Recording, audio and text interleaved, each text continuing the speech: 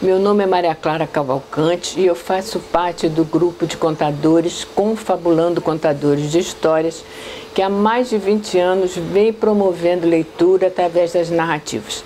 Sou também especialista em leituras, teoria e práticas pela PUC do Rio e em literatura infantil juvenil pela Universidade Federal Fluminense. E o que, que eu vim fazer aqui?